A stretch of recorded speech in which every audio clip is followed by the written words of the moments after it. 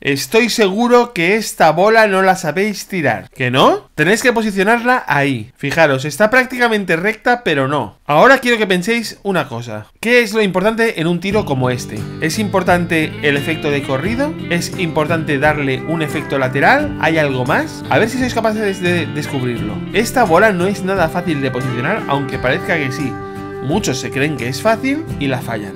Esto nos servirá para explicar hoy un concepto, el concepto del posicionamiento en dos dimensiones que hablamos en un vídeo hace tiempo, pero esta vez combinado con la división de tronera. Si no lo has adivinado aún, fijaros lo que está pasando, en los tiros que no me está saliendo, que no estoy dividiendo bien la tronera. Para que salga este tiro, lo importante es que entre por aquí, no por aquí.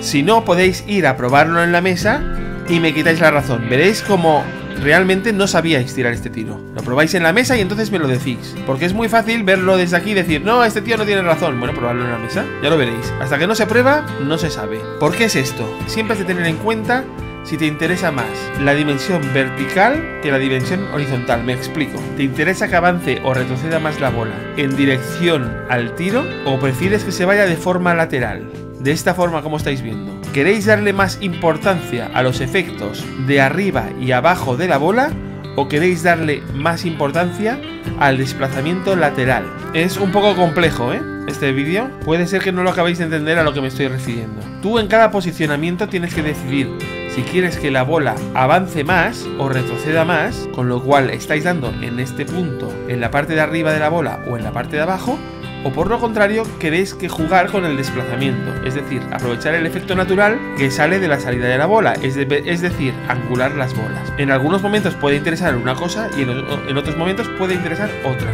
¿Qué, ¿Cuál es la dificultad de este tiro? Por eso lo he puesto como un ejemplo, que es una bola ligeramente angulada que hace muy difícil que la blanca y la lleves allí, porque solo que haya un mínimo de desplazamiento lateral, la posición se va al traste. Por lo tanto, es esencial dividir tronera aquí. Si os fijáis, los tiros donde la bola se ha posicionado bien, ha entrado a la derecha de la tronera. ¿Por qué? Porque el tiro ha sido más recto. Le estoy dando más importancia al posicionamiento vertical, es decir, a los efectos de corrido de la bola, porque el tiro está siendo más recto. Eso es muchísimo más efectivo que lo que muchos habréis pensado que es no fijaros mucho en la división de, tronera y darle a lo mejor un efecto un poco hacia la izquierda.